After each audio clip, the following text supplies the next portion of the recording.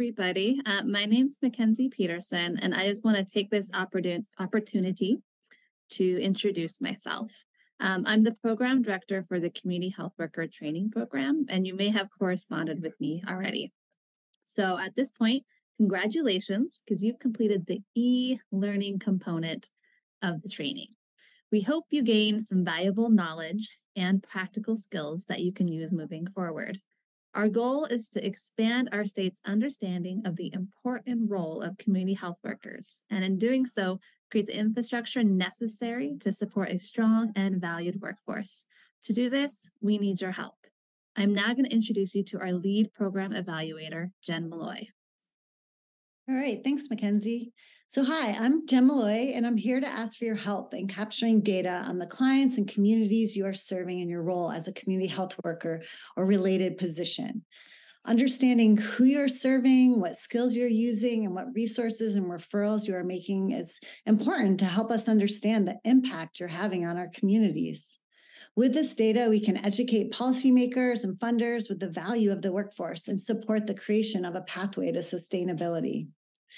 As a reminder, documenting client encounters for three months post online coursework during the telecoaching phase of the training is part of your commitment and a responsibility that is attached to your stipend. So we appreciate you taking the time to um, commit to this. Mackenzie and I are going to walk you through a, uh, the brief form you'll will fill out after each client encounter.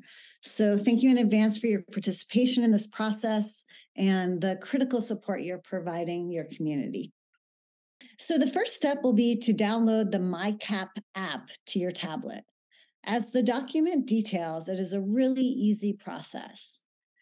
Shortly after completion of your online coursework, you'll be receiving an email with a link inviting you to join the Community Health Worker Training Program MyCap project.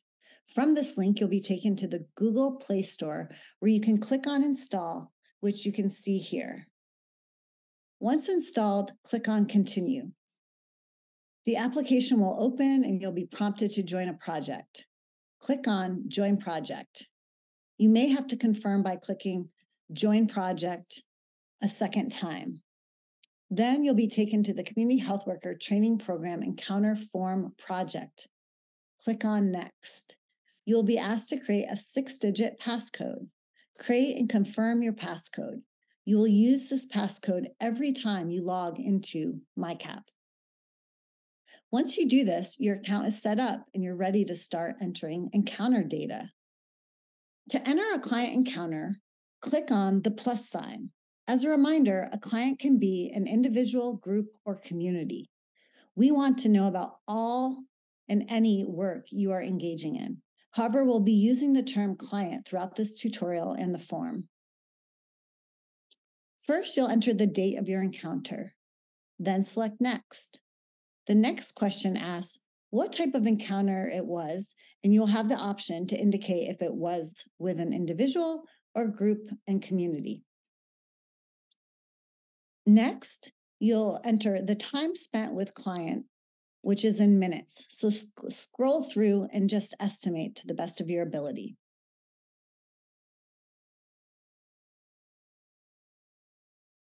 Next, you will be prompted to indicate if this is the first time you are serving this client after completion of the e-learning modules. You'll select yes or no.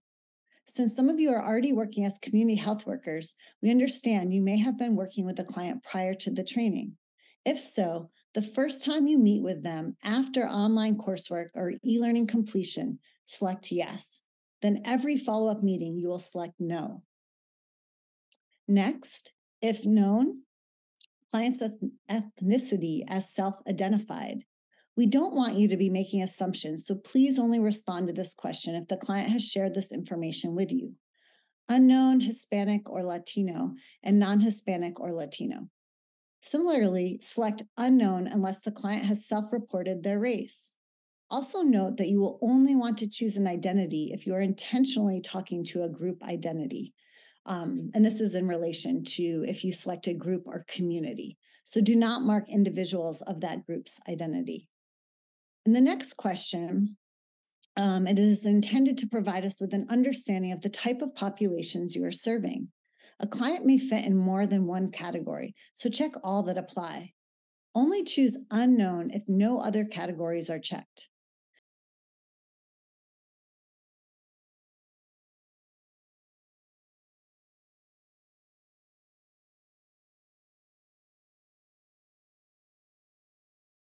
Next, where was the client served? We recognize you may be connecting with clients in non traditional settings in the community. So use community based setting for any encounter that is a public place. Then you can select client home, school, street, virtu- virtually or telehealth, your office or organization, location, and feel free to use another place if none of these categories seem to be a fit. I'm going to turn it over to Mackenzie to describe the next question you, Jen. So this next question is what role or service did you utilize to support this client? Please check all that apply and just try your best. Don't worry about overthinking this too much. So I'm going to go over some of the options here real quick and give you some examples. So one option is advocacy for communities, and this could look like working with coalitions and decision makers. Whereas we have advocacy for individuals, which may look more like patient advocacy within healthcare settings. We have building community capacity, which can look like forming new partnerships and supporting fundraising or volunteer activities to increase, let's say, the capacity of your local food bank or another organization. And then we have a variety of other options like community assessment, education for communities, and education for individuals. One thing you'll notice is that we have options for some activities between either communities or individuals. So if you're working with groups, please check communities. And if you're working with individuals in a one on one kind of direct service um, setting, please click individuals. Other options we have are emergency response and recovery. So this also applies if you're doing anything related to COVID still. We have enrollment in services and our benefits, and that includes really any service like Medicaid, SNAP, WIC, disability services. Uh, we have evaluation and research. Uh, one example here could be participating in the community health assessments. We have health services, which is kind of broad, but think about that as you know providing skills, um, supporting understanding of treatment plans, or really anything related to the health of the person you're serving. We have navigation or care coordination or case management. We use all three terms because we recognize that in practice, it gets a little sticky and there's a lot of overlap and a lot of um, kind of similarities between these definitions. So if you're doing anything that kind of falls into those buckets, please select that. We lastly have outreach, providing culturally appropriate services, social, emotional support, and none of the above. And so, just as a reminder, you can check all that apply and please just try your best and don't overthink it too much. Great, thank you. And um, one other reminder is only check none of the above or unknown if you have not checked anything else. So, all right, so moving on to the next question Did you refer the client to any services? Yes or no? If yes, you'll be offered an opportunity to select all of the referrals you made. See that the list is fairly comprehensive and there is an other category if you made a unique referral.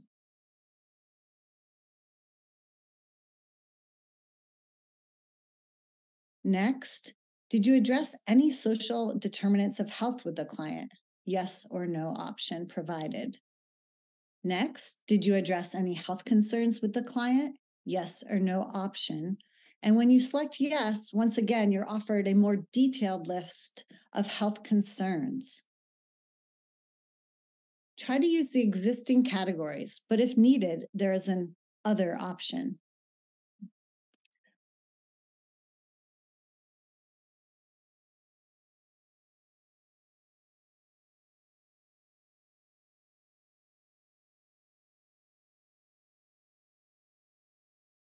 Finally, how do you personally relate to the client?